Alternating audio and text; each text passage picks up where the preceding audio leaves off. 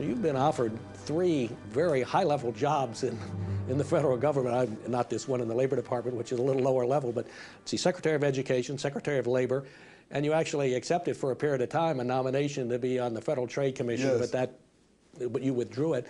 What happened? I, I've drawn the conclusion that you don't want to want to work in Washington anymore. I don't. I, I, I, I, ne- I never really did. Uh, uh, my conscience troubled me about the Secretary of Education offer because I knew the education was in such terrible shape that really, uh, if I had a chance to do something about it, I ought to do it.